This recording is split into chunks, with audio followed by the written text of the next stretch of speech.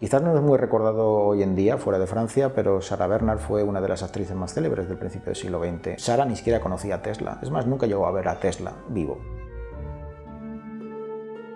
Nuestra Sarah Bernhardt difiere un poco de la Sarah Bernhardt eh, que conocemos por los libros de historia, lleva una cierta doble vida. She is a professional liar, that's what she does. She creates characters and lives inside them. Sarah Bernhardt, el personaje, es todo lo que puedes imaginar de una diva, es más grande que la vida misma, es, eh, es la sofisticación, es una devora hombres. Sarah la persona no es lo que su rostro muestra. Um, we have a fantastic actress who's been a real chameleon in this role, Fiona Renee. I think she's really going to blow people away.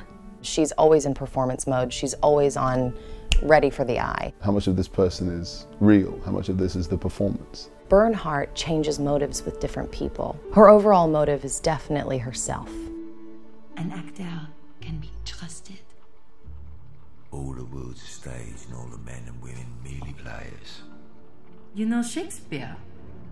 For saints have hands that pilgrims' hands do touch and palm to palm is holy palmer's kiss. Rob makes sure that we have the time to be directed properly. We had a rehearsal period, we took our time with the scenes, we found our motivation. He treats the production as if the actors are doing theater. We rehearse the scenes in one full scene, even if there are cuts, because it's one fluid moment, one fluid feeling. Ah, monsieur, Monsieur, please, please. We've got to keep in mind the period of the piece. We would be in corsets and heels, and um, my hair would be up, and all of these physical attributes for costume and makeup and hair that we're unable to recreate physically. So to imagine that and then to actually create the body to become that without the help, I would say is very difficult especially for someone who naturally is not in the physical position as the character.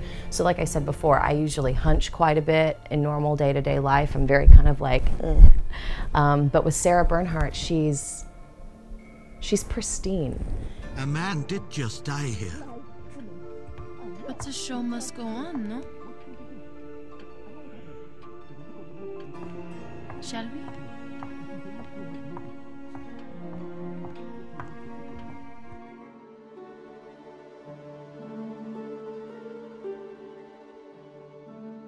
There's a company called Punchdrunk out of New York. They do Drowned Man in London and Sleep No More. The only experience that I've had very similar to this at all has been their shows. There's not many things that exist where you can 100% put your body in another world and experience it the way that you want to.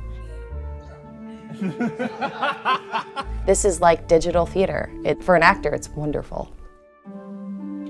Oh, what? Oh. closer.